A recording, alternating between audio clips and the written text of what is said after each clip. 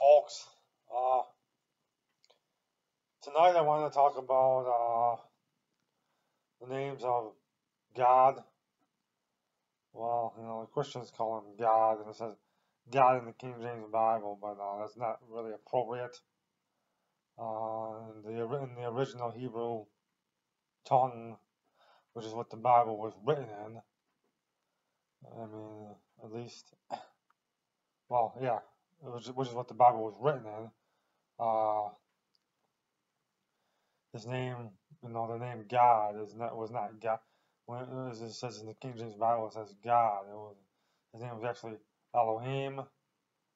You know, when it says Lord, capital L O R D, that, that means uh, that, that you know the the real name for that is was Jehovah.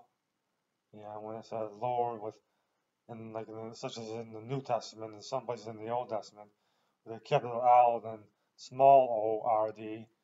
Uh, the proper name for that is Adonai, and uh, you know when it says Jesus in the New Testament,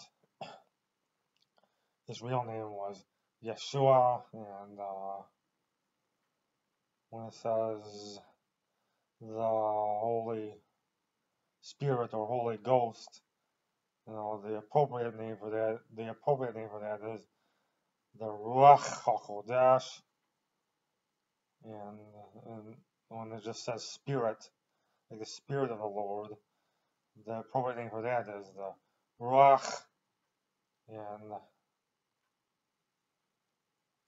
trying to think if I'm trying to think if there are, are any more. I'm sure there are, but uh,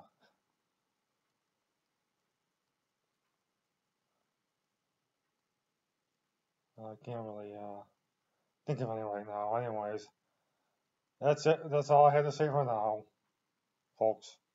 Shalom.